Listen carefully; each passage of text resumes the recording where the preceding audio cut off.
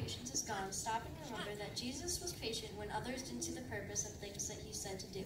Also, a biblical woman needs to be patient when helping someone who does not think they need help